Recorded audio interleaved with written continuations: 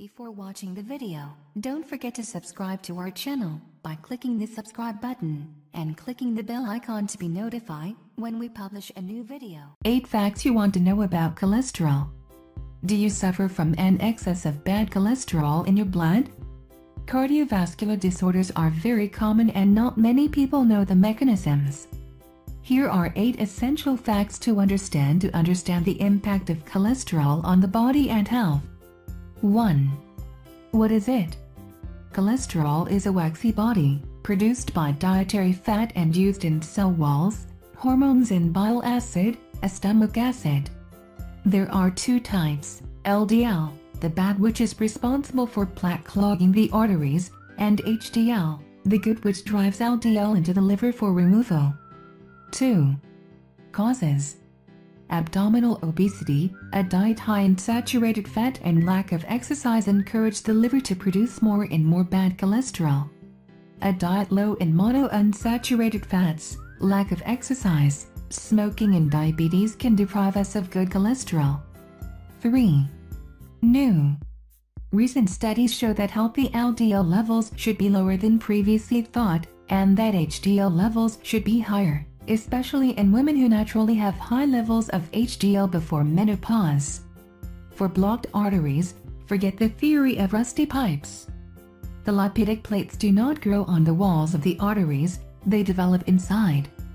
The bad cholesterol begins by penetrating into the inner tunic of the arteries, and this is where the danger appears. 4. Attention to triglycerides. The doctors measure this rate by means of a lipid analysis of your blood. High triglyceride levels increase the risk of heart attack, especially in women. 5. Detection There are no symptoms to evaluate the level of cholesterol in your blood. Only a blood test reveals it.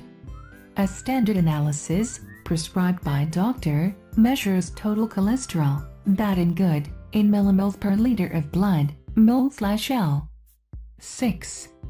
Medications Every year in Canada more than $1 billion is spent on statins, and this amount can only increase because the researchers suggest prescribing more patients.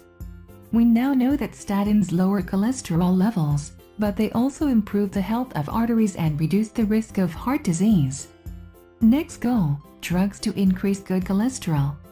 Some doctors already prescribe niacin supplements, 7. Other solutions.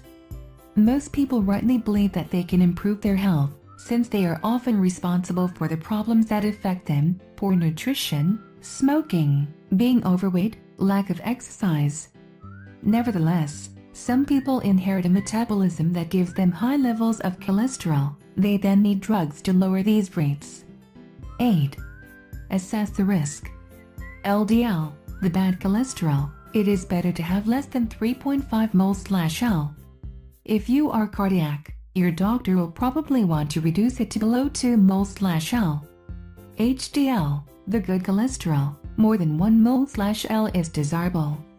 Total cholesterol, including LDL 3.5 moles slash L or less, should be less than 5 moles slash L.